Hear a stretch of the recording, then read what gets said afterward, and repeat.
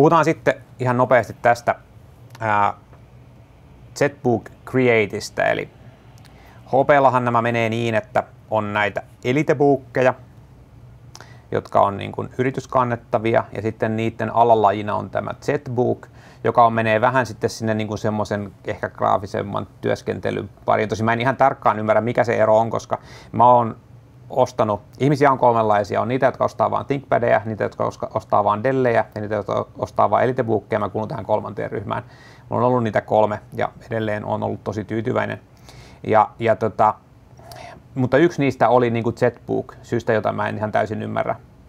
Mutta joka tapauksessa ää, tässä on siis kymmenennen sukupolven Core i7 ää, tässä koneessa. Ja sitten tässä on RTX 2070 mobiili, mobiiliversio, ja se nimenomaan toimitettiin nyt niin kuin tätä, tätä käyttöä varten, että voitte kokeilla näitä laseja sen kanssa.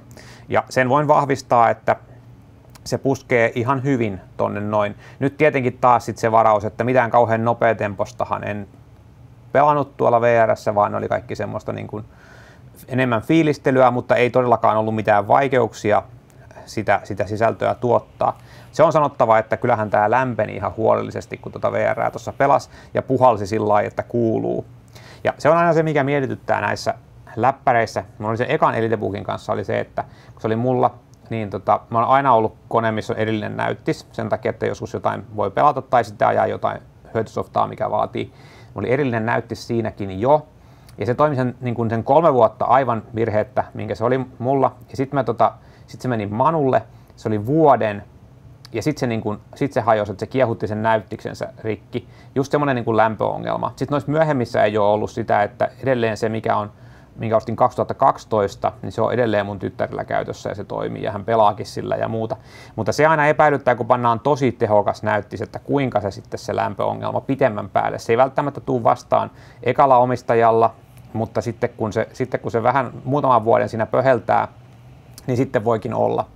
Mutta tota, näin levossa, tämä on ihan hiljainen, asiallisen tuntunen, vaikuttaa hyvin paljon, siis mulla on tommonen se ö, 1050 G1, joka täyttää nyt sitten kolme vuotta, niin tota, hyvin saman olonen, tämä on vähän tummempi, ää, mutta tota noin, niin muuten aika lailla yhtäläinen, yhtäläinen kone.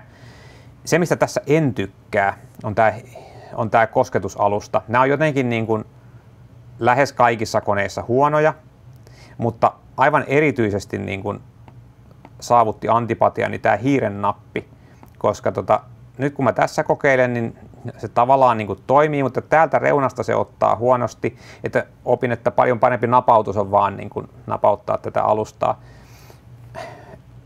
Elitebookeissakin oli se semmoinen tötsä tässä, se, se tota, trackpointti sanoi siis tota, Lenovo kutsui sitä trackpointiksi. Jostain vaiheessa sitten luovuttiin, en ihan ymmärrä minkä takia, koska etenkin matkan päällä se on paljon kätevämpi kuin tämmöinen klaapittava levy. Mutta tämä on kyllä yleisempikin tauti, mutta silti sanon, että siinä mun vanhassa Elitebookissa niin, niin tämä on parempi. Muuten ei, ei moittimista. Tässä on 32 gigaa muistia, teratavu SSD ja näin. Tämä on ihan niin kuin tykkipeli sen puolesta. Työkäyttöön ei mitään. Vähän mittailtiin sitten, kun nämäkin luvut aina ihmisiä kiinnostaa.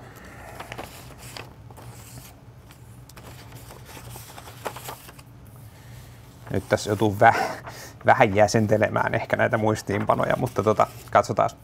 Puhutaan ensin, no joo, käydään nämä, vaikka PC-markkia nyt ensin puhutaan, eli nämä hyötykäyttöjutut, niin, niin tota, tässä on nyt vertailuna vaan siihen mun vanhaan vanhaan EliteBook 1050G1, jossa on siis i7, mutta se on kahdeksannen sukupolven taikka näin. Yleensähän noissa bisneskoneissa on vähän vanhempia sen takia, että ne tietää, että se toimii niin kuin pitkään, kun siinä munkin koneessa on viiden vuoden takuu, niin se on aika pitkä aika, aika huoltaa sitä.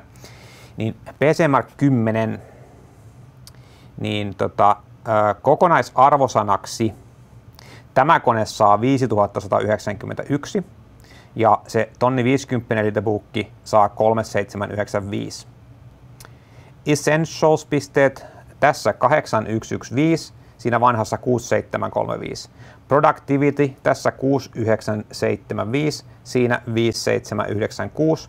Digital Content Creation 6755, siinä 3800. Eli siinä oikeastaan kirkkain ero tulee tuossa just siinä Digital Content Creation, se on lähes tuplat se pistemäärä. Ja se on varmasti on just kiinni siitä näyttiksestä, koska siinä mun on semmoinen tonni 50, tonni 50 GTXn mobiiliversio. Eli siitäkin on niin kuin iloa esimerkiksi videorendauksessa, mutta kyllähän tämän teho on niin kuin totta kai merkittävästi suurempi. Joten tota, voi sanoa, että niin kuin semmoiseen työkäyttöön niin tämä kone on, on tosi hyvä. Ja jos sen olisi aivan tyytyväinen tuohon nykyiseen, niin tämä voisi, tämä voisi niin jossain määrin kuumotellakin. Sitten näitä peli, pelihommia niin ajettiin tota, ää, Timespyta 3D-markista. Niin tämä kone sai 6491 pistettä, Graphics Score 6539 ja CPU Score 6233. Ja tässähän sitten tota, mulla jo Timespyta toi ei edes ajanut toi mun vanha tai mun, mun läppäri, mutta mulla on sitten Firestrike ei Timespy-pisteitä täältä tota, ää,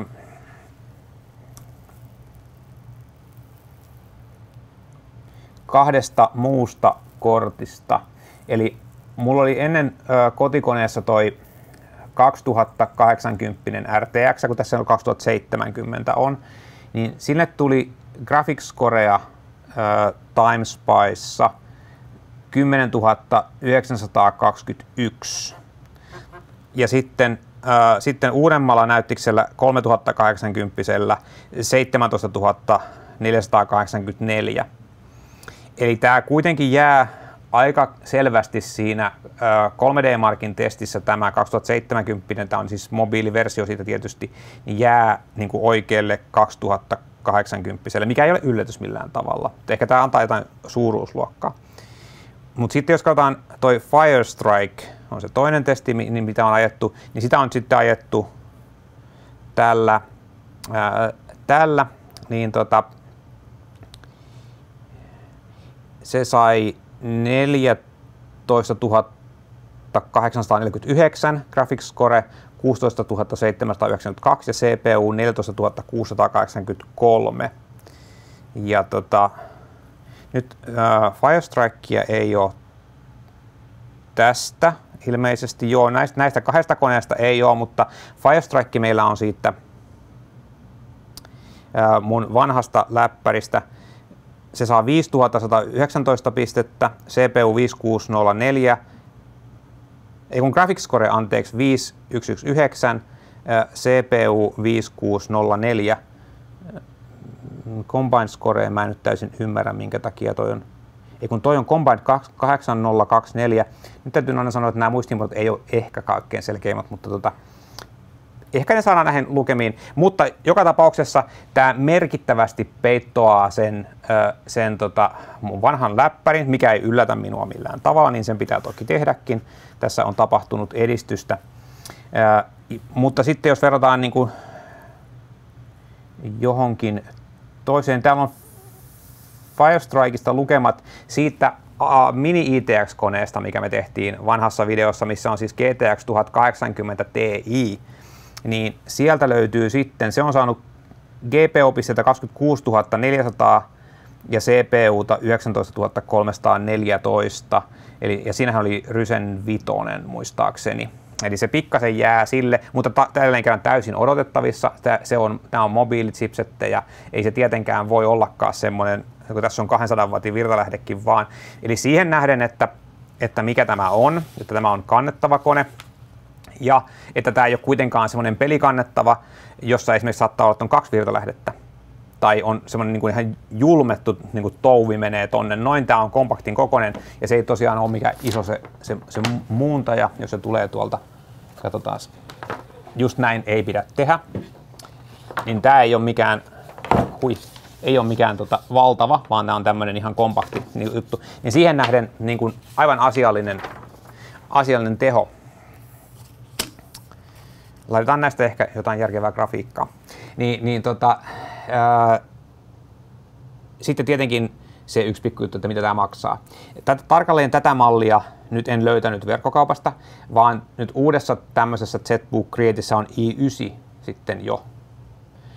Eli varmaan se CPU-teho on vähän, vähän kasvanut, mutta tällä Teran levyllä ja, ja 32 gigan muistilla, niin se oli 3800 euroa noin arvonlisäverolla. Ja tietysti niin kuin nyt ihan saa silleen nojata taaksepäin, että luoja minkä hintainen, mutta loppujen lopuksi, niin, niin tota, ei tämmöistä konetta hanki kukaan semmonen, joka ei niin kuin tiedä, että mihin sitä aikoo käyttää. Jos katsotte, mitä, mitä noin Mac-läppärit maksaa, millä videoita tehdään, ja mitä maksaa vaikka nyt tämä uusi iPad sillä kun sen varustelet täyteen, niin, niin sekin on kolme ja puoli tonnia.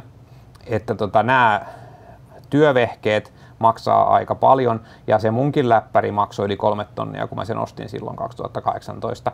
Että juu, on ne kalliita, mutta sitten taas niin kun jos teet sillä koneella töitä ja se on se sun pääasiallinen työvälineesi, kun mullakin on se, että, että varsinainen leipätyöni on, on kääntää ja tuottaa tekstiä, niin tota, se on se työkalu, millä teet hommia. Siihen käytetään tietty määrä rahaa ja huonoilla työkaluilla sitten odotellaan ja, ja, ja, säädetään ja taistellaan sen kanssa. Hyvässä työkalussa on hyvä varustelu, pitkä takuu ja näin, ja siitä maksetaan jotain. Että en millään tavalla odota, että sen enempää kuin tämmöinen iso VR-laitteisto, niin tämmöinen kallis läppärikään olisi niin kuin kaikille, eikä se ole tarkoituskaan. Mutta ehkä se muuttuu vähän kiinnostavammaksi siinä kohtaa, kun näillähän on aika terveet niin kuin jälkimarkkinat näillä läppäreillä. Kun se on ollut sen ensimmäisen kolmen vuoden leasing-kierron, niin siitä hinnasta lähtee aikamoinen siivu pois, sanotaan helposti kaksi kolmasosaa, jopa kolme neljäsosaa. Ja siinä vaiheessa niin tämmöisellä läppärillä vielä tekee jotain, sillä voi jopa pelata asioita, ei ihan uusimpia pelejä, mutta voi kuitenkin pelata. Ja silloin se saattaakin olla ihan kiinnostava vaihtoehto sille, että ottamaan marketista jotain, mikä todennäköisesti toimii lähtökohtaisesti jo huonommin ja ainakin kestää vähemmän aikaa. Niin, niin siinä kohtaa se saattaa tulla niin kuin kuluttajalle. Tässä vaiheessa se ei ole perusteltavissa muuten kuin, niin kuin työkäyttöön. Mutta jos on tarpeen niin kuin leikata videoita, tehdä graafista työtä tai sitten vaikka käyttää tämmöisiä VR-laseja, niin, niin tota, minä kallistuisin tämmöiseen ennen kuin semmoiseen niin kuin pelikannettavaan sen takia, että ne on valtavia. Sitten niissä on se poveri juttu monessa, että, että tosiaan voit saada enemmän tehoa, mutta sitten se niin kuin, kuitenkin menee jo sinne pöytäkoneen suuntaan aika, aika vahvasti. Mutta, mutta niin kuin sanottu, niin, niin tota, molemmat laitteet on semmoisia tietäjät tietää juttuja ja, ja, ja semmoisia, jotka ihmiset haluaa säätää, säätää haluamakseen.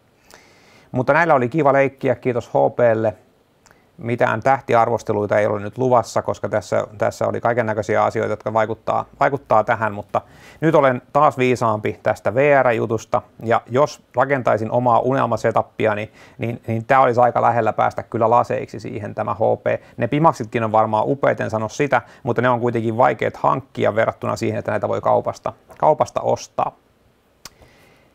Tämmöistä juttua. Katsotaan, mulla on vähän semmoinen kutina, että nämä VR-jutut ei ollut nyt tässä, vaan jotain vielä seuraa, mutta ei paljasteta ehkä enempää.